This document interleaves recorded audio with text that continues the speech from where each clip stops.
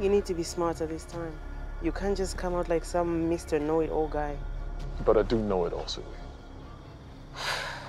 Dante, if you do that, you come out as very arrogant and insecure. You need to play the game in order to win the support of the company members.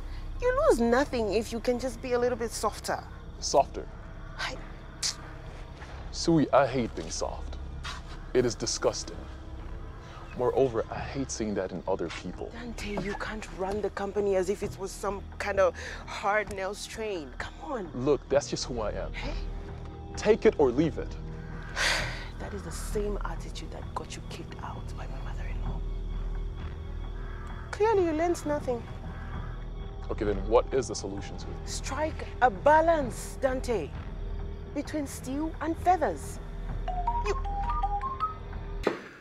My sister Janet has gone missing, and he said you could help me find her. There is, however, the matter of payment. And judging a book by its cover, doesn't seem like you'll be able to afford me. I. I was hoping you could help me for free. Look around you. What do you see? Beyond the cosmetic exterior. I don't understand. Sangwa, everything that you see around you needs to be paid for. The only three things in this life are sunlight and air.